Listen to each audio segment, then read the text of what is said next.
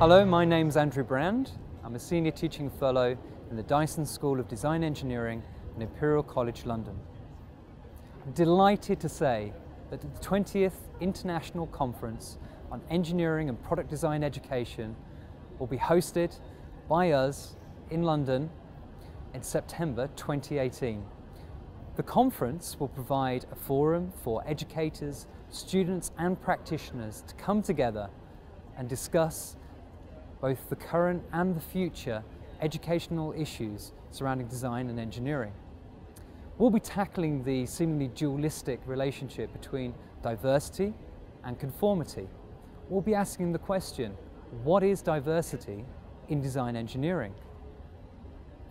We'll be exploring how different perspectives can influence the design and engineering domains, the norming pressures on design, We'll be looking at creativity and innovation, ethics and social issues, assessment methods, aesthetics and cultural practice, and how we, as educators, engage the broader public and society.